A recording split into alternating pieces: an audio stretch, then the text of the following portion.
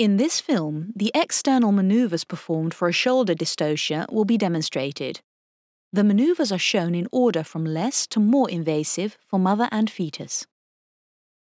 The maneuvers that have to be performed will be shown on a model and are alternated with images of a second fetus doll placed on the mother's abdomen on which the same maneuvers will be performed. In this way, insight will be provided into what happens internally whilst performing the maneuver. Shoulder dystocia occurs during childbirth when the anterior shoulder of the fetus, as seen here, becomes impacted behind the symphysis of the mother. Take note that during labour, slow progress in dilatation or expulsion of the fetus, head bobbing, and a turtle sign might indicate shoulder dystocia. With head bobbing, a jerking movement of the fetal head is seen as the head appears and retracts during each push. During the course of a turtle sign, the head may be delivered partially or suddenly retract back against the mother's perineum after it is born. If the head of the fetus is not delivered completely, the caregiver may assist by placing the thumb and index finger on the perineum of the mother and slide it off over the head of the fetus while looking at the perineum of the mother.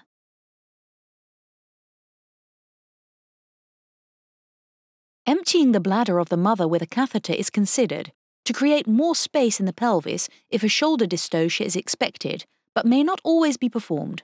After the birth of the head, the neck is palpated with two fingers to check whether the umbilical cord is wrapped around the neck. Take note that if the fetal neck is tightly encircled by the umbilical cord and it cannot be freed without cutting the cord, the umbilical cord is cut only after the shoulder dystocia is resolved to prevent oxygen deprivation. For a more detailed elaboration of the management of the nuchal cord, refer to the course Management of the Nuchal Cord.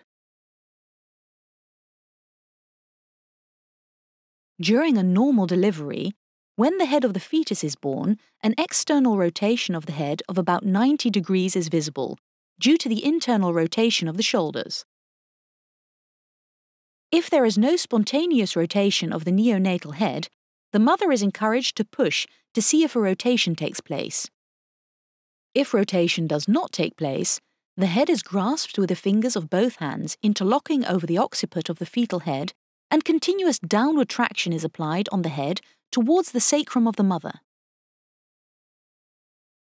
In an alternative technique, the index and middle finger of the dominant hand are placed on both sides of the fetal neck. The non dominant hand is placed on top. Then, Continuous downward traction is applied towards the sacrum of the mother. Take care not to put too much traction on the head. The head should also not be rocked from side to side. This may lead to irreversible injury to the brachial plexus of the fetus and should be avoided in all births. Also take care not to apply fundal pressure in an attempt to resolve the shoulder dystocia, since this is associated with a high neonatal complication rate and could cause a uterine rupture. If the aforementioned techniques are unsuccessful, it is advised to call for additional help if available, since this is now a complicated delivery. Additional maneuvers to free the shoulders will need to be performed.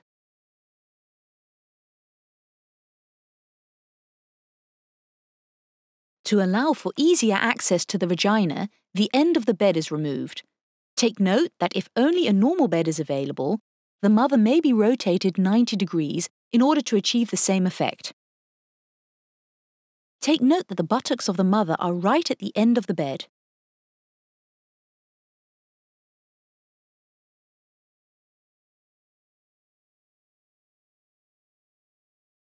The McRoberts maneuver is an effective and non invasive maneuver and should therefore be performed first. The mother is laid flat and any pillows are removed from under her back. Extreme flexion and abduction is applied to the hips of the mother by extending and bending her legs. The extreme flexion will enlarge the entrance to the pelvis. During this maneuver, continuous downward traction is applied on the head of the fetus towards the sacrum of the mother. If the anterior shoulder is not released with the McRoberts maneuver, suprapubic pressure should be attempted.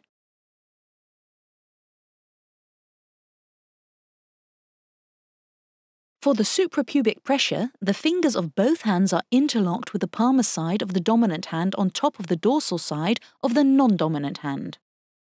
The hands are placed superior to the maternal symphysis pubis and ipsilateral to the side where the fetal back is positioned. Pressure is then applied in a downward and lateral direction in an attempt to rotate the shoulders to the 3 and 9 o'clock position. There is no clear difference in efficacy between a rocking movement and continuous pressure.